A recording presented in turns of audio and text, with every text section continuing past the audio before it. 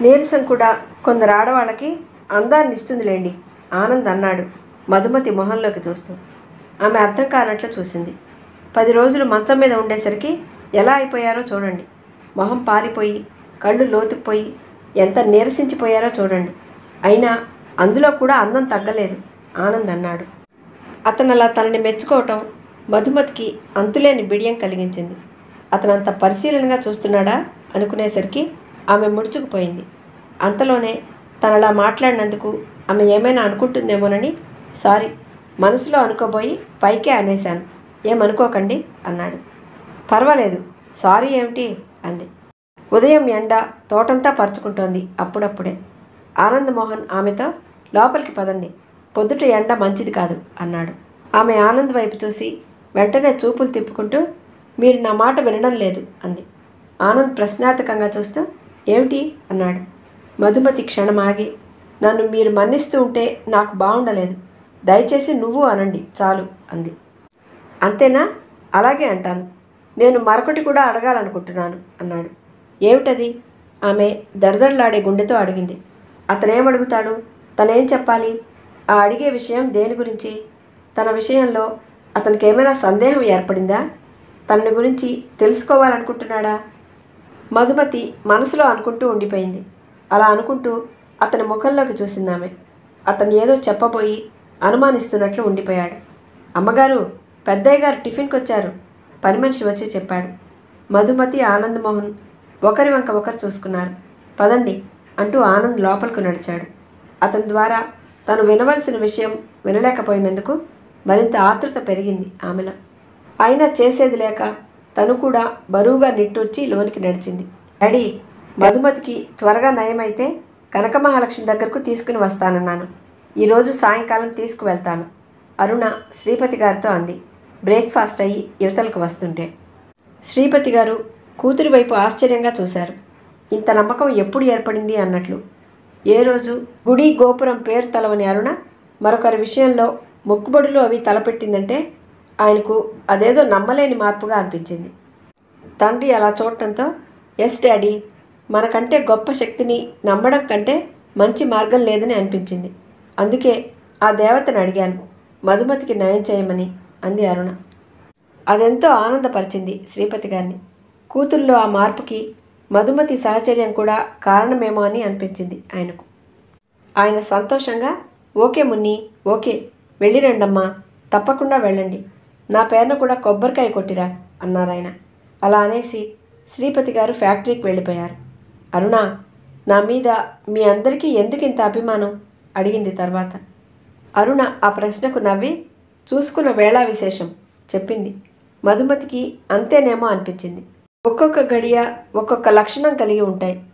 ఆ గడియ అమృత తుల్యమైనా కావచ్చు విషపూరితమైనా కావచ్చు. అమృత గడియలో చూసుకుంటే అభిమానాలు ఆప్యాయతలు పుట్టచ్చు. అదే విషకడీలో కలిస్తే ద్వేషం అసహ్యం వంటివి తలెత్తొచ్చు. అంటే తను శ్రీపతి గారిని రైల్లో కలుసుకున్న సమయం అమృతమయమైందా? మరి అలాంటప్పుడు తను అలాంటి వక్రమైన ఆలోచనకు గురైందేమిటి? మధుమతికి అర్థం కాలేదు. ఆ వెను వెంటనే ఆమెకు ఒకటి అనిపించింది. తను ముమ్మాటికి ఆయన్ని దర్శించింది అమృత గడియల్లోనే. అందుకనే తన ఆలోచనలు తన మనసు సక్రమమైన దారి పట్టాయి. అది విధాత లీల కాకపోతే మరేమిటి? ఆమె మనసుకి సమాధానం దొరికాక హాయిగా ఫీల్ అయింది. ఒకవేళ తను శ్రీపతి గారిని కలుసుకోవటం అన్నది విషగడియల్లోనే జరుగుంటే మధుమతి హృదయం వణికిపోయింది. అరుణ మధుమతి భుజం మీద తట్టి ఏమిటలా ఉండిపోయావు? అని అడిగింది. మధుమతి ఆమె వైపు చూసి నవ్వి మీ ఇంటికి రాకపోతే నేను ఏ స్థితిలో ఉండేదాన్నా అని ఆలోచిస్తున్నాను అంది. అందుకు అరుణ నీ విషయానికేం కానీ మేం మాత్రం ఒక రత్నాన్ని మిస్ అయ్యి ఉండేవాళ్ళం అంది వెంటనే. ఆమె ఏదో అందామనుకుంది కానీ ఆమె కంఠం పూర్తిగా పూడుకుపోయింది. మాట్లాడలేక ఊరుకుంది. సరే కానీ నేను కాలేజీకి వెళ్ళనా? అని అడిగింది అరుణ. వెళ్ళమన్నట్లు ఆమె తలూపి ఊరుకుంది.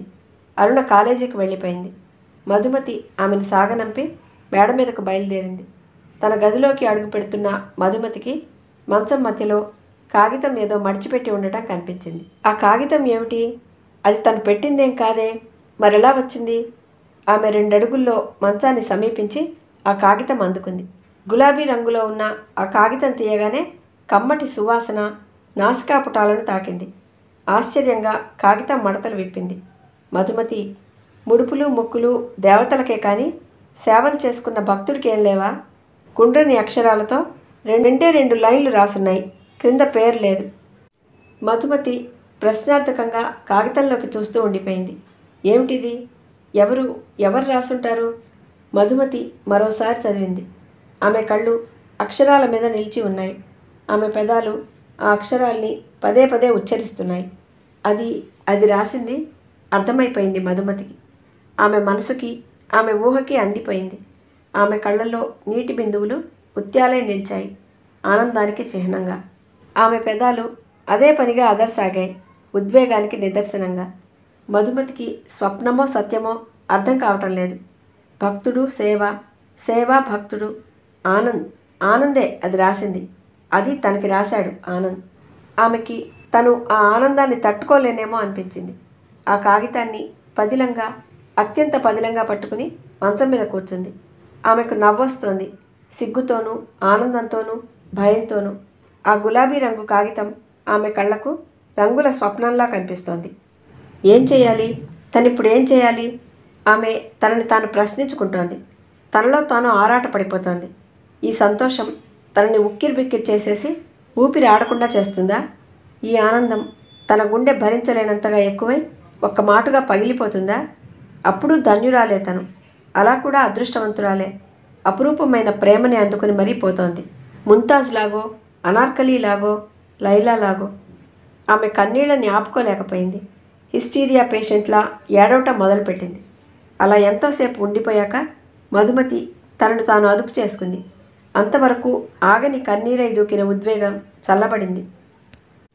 ఆనంద్ రాసిన ఆ ఉత్తరం సూట్ కేసులో భద్రంగా దాచి బాత్రూంలోకి వెళ్ళి శుభ్రంగా మొహం కడుక్కొని వచ్చింది. తనెందుకు అలా అయిపోయింది? తన మనసెందుకు అంత ఉద్వేగానికి గురైంది? ఆమెకి ఆనంద్ రాసిన ఉత్తరం మనసులో మెదిలినప్పుడల్లా అనిపించింది.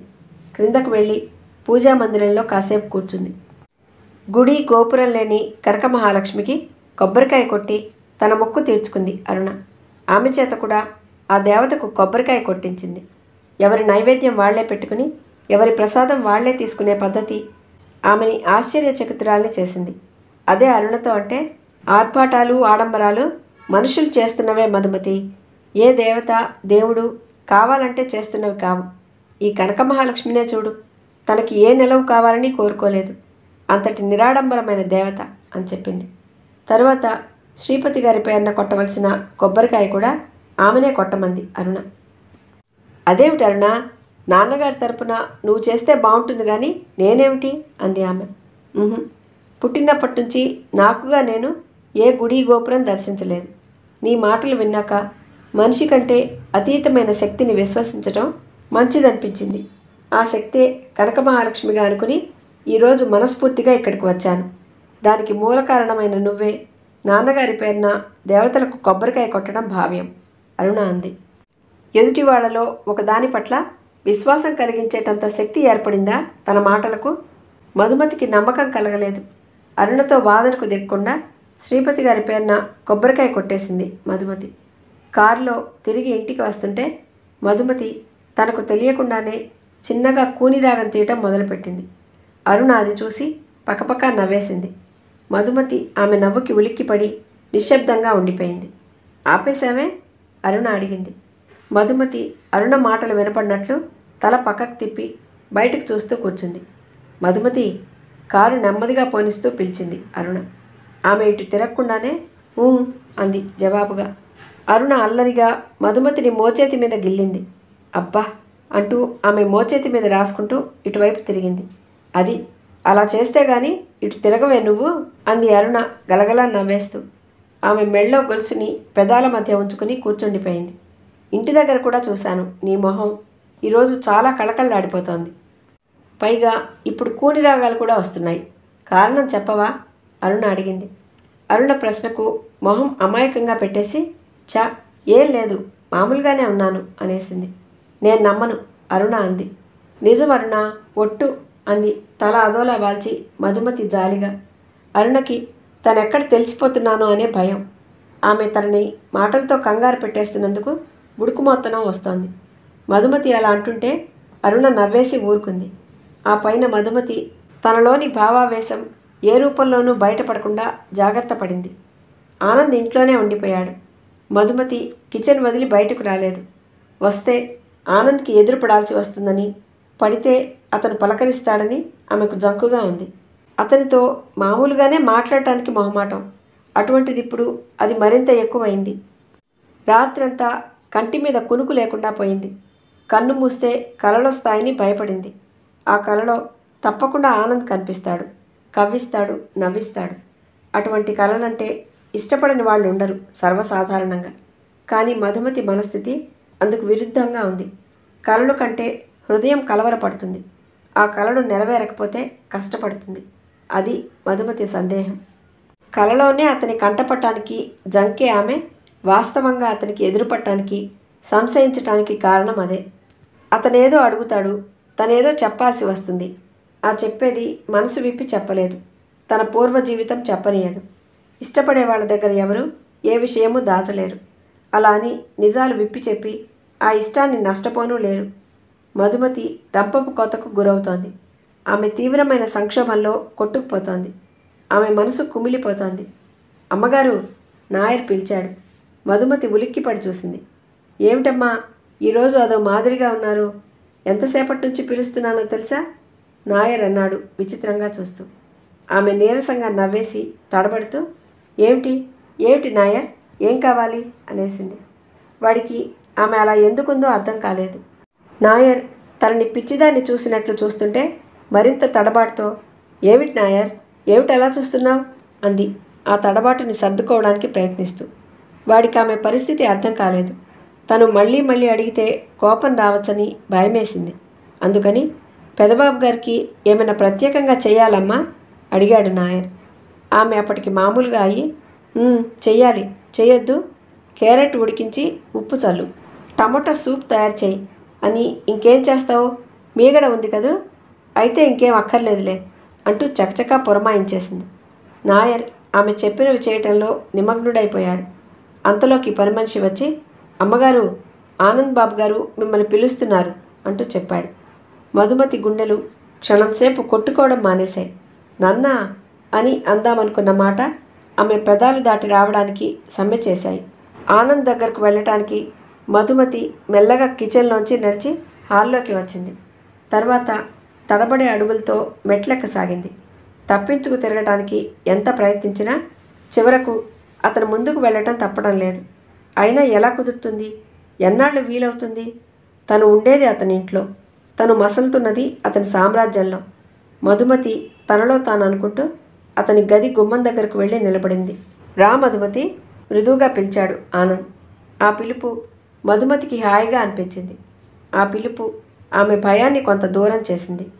ఆమె మెల్లగా గదిలో అడుగు పెట్టింది. ఆనంద్ మంచం మీద దిండుకి జార్లబడి కూర్చున్నాడు. అలా కూర్చో. మంచం పక్కనే ఉన్న టీపాయ్ చూపిస్తూ అన్నాడు. పిలిచారట? ఎందుకు? మధుమతి అతని వైపు చూడకుండా ఎటో చూస్తూ అడిగింది కూర్చోకుండానే. ముందు అలా కూర్చో. ఆనంద్ మోహన్ అన్నాడు. మధుమతి ముడుచుకుపోయి కూర్చుంది. ఆనంద్ మోహన్ కాసేపున్నాక నా మీద కోపం వచ్చిందా మధుమతి? అడిగాడు. ఆమె కనుబొమ్మలు ముడిచి ఎందుకు? అంది. అదే ఉత్తరం రాసి నీ గదిలో పెట్టానుగా? అందుకు. లేదన్నట్లు తలూపి ఊరుకుంది మధుమతి. ఆనంద్ మోహన్ మొహం విప్పారింది. థ్యాంక్ యూ అన్నాడు. మధుమతి అతని మొహంలోకి చూసింది. ఆ మాట వింటూ దేవతకు మొక్కు చెల్లించి వచ్చావు. మరి నా సంగతి? ఆనంద్ అడిగాడు. మొక్కుకున్నది నేను కాదు మీ చెల్లెలు మధుమతి అంది. అతను అలాగా అన్నట్లు కళ్ళార్పి అయితే నాకు కావాల్సింది కూడా మా చెల్లెల్నే అడగనా? చిలిపిగా అన్నాడు. అయ్య బాబోయ్ అనుకుంది మనసులోనే మధుమతి. అరుణకు తెలిస్తే వద్దన్నట్లు బుర్ర ఊపేసింది వెంటనే. మరి? ఆనంద్ కవింపుగా అడిగాడు. మధుమతి అరచేత్తో చూపుడు వేలుతో రాసుకుంటూ ఏం కావాలి? అని అడిగింది. ఆనంద్ నిటారుగా కూర్చుని అడగనా? అన్నాడు. అడగండి అన్నట్లు కళ్ళార్పింది మధుమతి. నాకు ఇష్టమైంది ఇవ్వాలి ఆనంద్ మోహన్ అడిగాడు.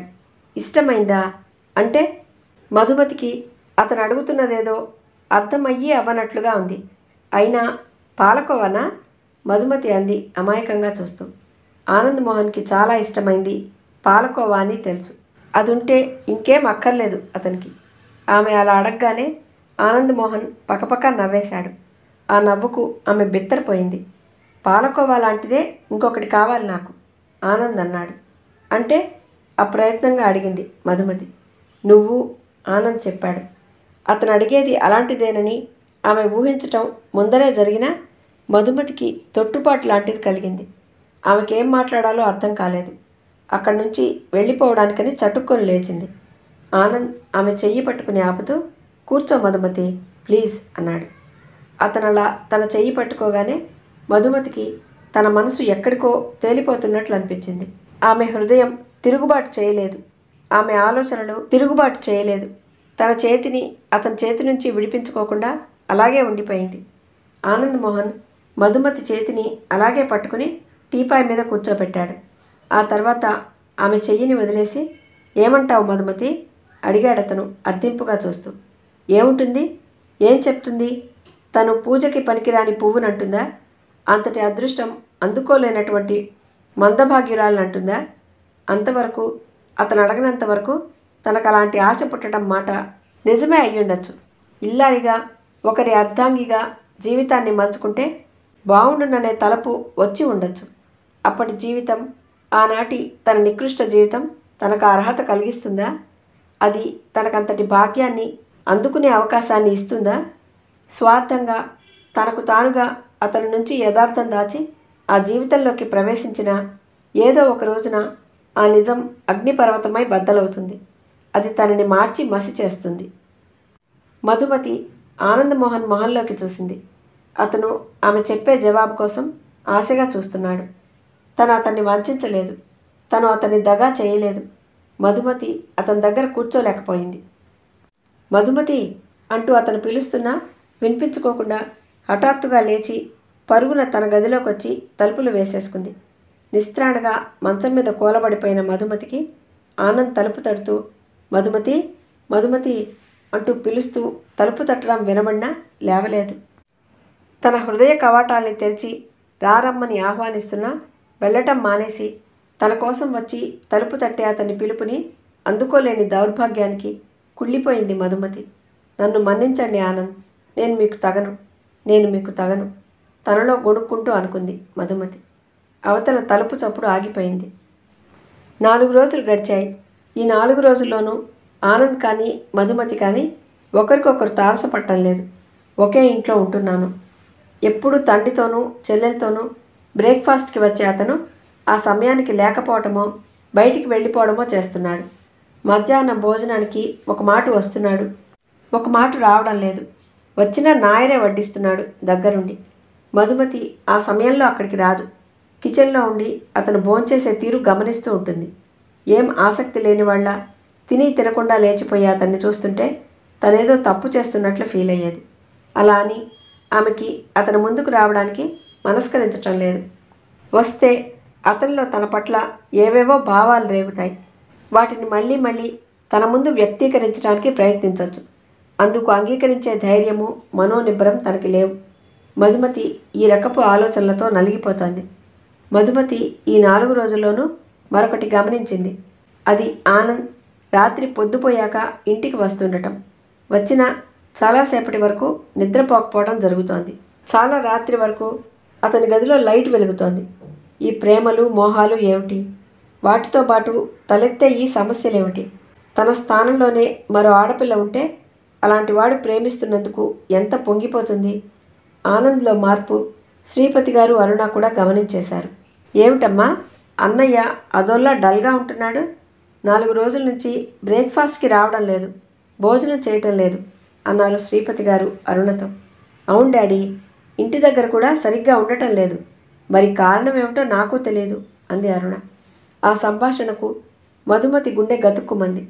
శ్రీపతి గారు పని మనిషిని పిలిచి కొడుకును పిలుచుకురమ్మని చెప్పారు. అతను వస్తాడా రాడా? వస్తే శ్రీపతి గారు ఏమడుగుతారు? అతనేం చెప్తాడు? మధుమతి టిఫిన్ తినకుండా కూర్చుండిపోయింది. ఆనంద్ వచ్చాడు. మధుమతి తలొంచుకొని ఉండిపోయింది. రా ఆనంద్ పిలిచారు శ్రీపతి గారు. ఆనంద్ అరుణ పక్కన కూర్చున్నాడు. ఏమిటి ఆనంద్ అలా ఉంటున్నావు? ఒంట్లో కులాసాగా లేదా? అడిగారు శ్రీపతి గారు ఆనంద్ని చూస్తూ. చూసారా డాడీ అన్నయ్య ఎంత చిక్కిపోయాడో? అరుణ అంది. అప్పుడు తలెత్తి చూసింది అతని వైపు మధుమతి. మొహం పీక్కుపోయి కళ్ళు ఎర్రబడి ఉన్నాయి. ఆనంద్ మోహన్ మొహంలో ఉత్సాహం లేదు. అయినా బలవంతంగా నవ్వుతూ అదేం లేదు డాడీ బాగానే ఉన్నాను అన్నాడు. శ్రీపతి గారు తల అడ్డంగా ఊపుతూ no you are looking very dull. ఎక్కడ యాక్టివ్నెస్ లేదు నీలో. సంథింగ్ రాంగ్ విత్ యూ అన్నారు. ఆనంద్ మోహన్ మాట్లాడలేదు. అవునన్నయ్యా ఎంత మారిపోయిందో తెలుసా నీ మొహం? చూసేందుకే భయం వేస్తోంది. అరుణ అంది. ఆనంద్ మోహన్ చెల్లెల వైపు చూసి నీ మొహం నీకలా అనిపిస్తోందేమో. నాకే నిక్షేపంలా ఉన్నాను అన్నాడు.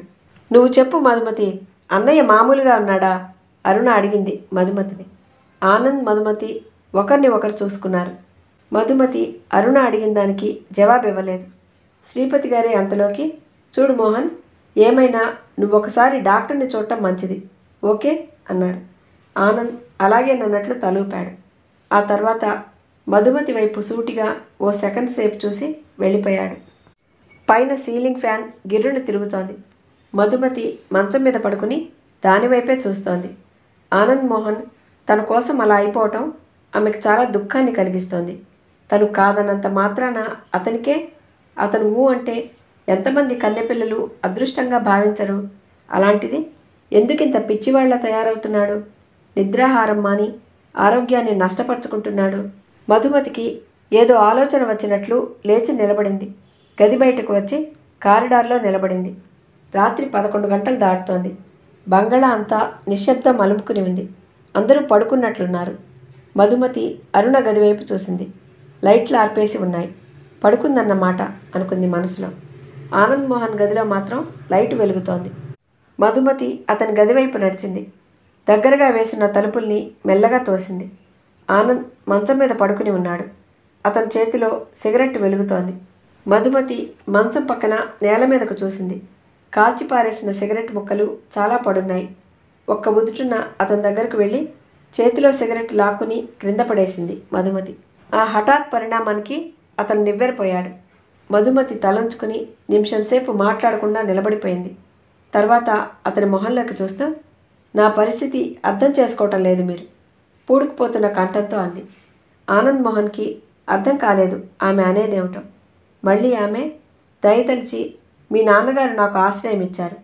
ఒక మంచి నీడకు చేరి నేను జీవితాన్ని ఇప్పుడిప్పుడే కాంతిమయం చేసుకుంటున్నాను. ఇప్పుడు మీరు అలా నా కోసం ఆరోగ్యం పాడు చేసుకుంటే నాకెంత ఇబ్బందో గ్రహించారా? అంది. ఆమె చెప్పటం ముగించాక ఆనంద్ కాసేపు ఆగి ఒక్క విషయం అడుగుతాను. నిజం చెప్తావా మధుమతి? అడిగాడు. అడగండి అంది. కూర్చో. మధుమతి మంచం పక్కన టీపాయ్ లాక్కుని కూర్చుంది. చెప్పు మధుమతి నేను నీకు నచ్చలేదా? నేనంటే నీకు ఇష్టం లేదా? నిన్ను పొందటానికి అర్హత లేదా నాకు? ప్రశ్నల వర్షం కురిపించాడు అతను. కాదు కాదు. అవేం కాదు కంగారుగా అందామె. మరి ఆ రోజు అలా వెళ్ళిపోయావే? ఆనంద్ మోహన్ అడిగాడు.